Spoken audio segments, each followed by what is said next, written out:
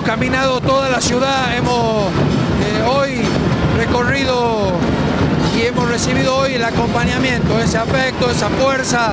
Este acto se ha transformado en una, mezcla de emociones, sentimientos, mucha juventud, mucha fuerza y también mucho del peronismo histórico que se han hecho presentes.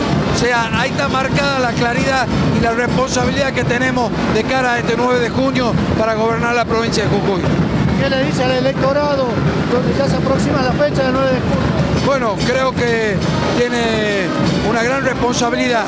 El voto es la herramienta más grande que tiene la ciudadanía y es ahí donde tiene que votar con conciencia, invitarlos a participar, que conozcan que hay una opción que se llama el Frente Junto por Jujuy, que va a asumir la responsabilidad, hombres y mujeres, jujeños, que queremos poner todo nuestro ser para que Jujuy se ponga en marcha y Jujuy salga adelante.